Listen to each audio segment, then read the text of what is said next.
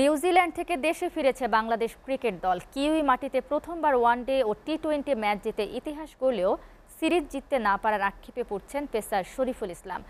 পাশাপাশি সফর জুড়ে বাকিদের মতো নিজেও নাজমুল শান্তর অধিনায়কত্বের প্রশংসা করেছেন। নুরুদ্দিন খানের প্রতিবেদন।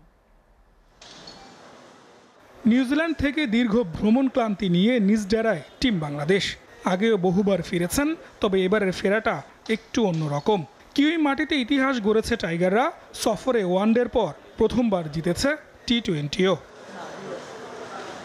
তবুও আক্ষেপ শরীফুলের কণ্ঠে কাছে গিয়েও সিরিজ জিততে না পারায়। আলহামদুলিল্লাহ লাস্ট কিছু ম্যাচ আমি খুব ভালো খেলছি সো এটা আমাকে বুস্ট আপ করবে বিপিএলে ভালো খেলার জন্য আর ইনশাল্লাহ আমি চেষ্টা করব এই ধারাবাহিকতা ধরে রাখার জন্য। দাপটে বোলিংয়ে সিরিজের প্রাপ্তি শরীফুল নিজেও। হয়েছেন টি টোয়েন্টিতে সিরিজ সেরা প্রত্যাশা ভবিষ্যৎ রাঙানোর। আলহামদুলিল্লাহ লাস্ট কিছু ম্যাচ আমি খুব ভালো খেলছি সো এটা আমাকে বুস্ট আপ করবে বিপিএলে ভালো খেলার জন্য আর ইনশাল্লাহ আমি চেষ্টা করব এই ধারাবাহিকতা ধরে রাখার জন্য। সমর্থক কোচিং স্টাফের মতো সফর জুড়ে অধিনায়ক নাজমুল শান্তর বিচক্ষণতায় মুগ্ধ শরীফুল ইসলাম।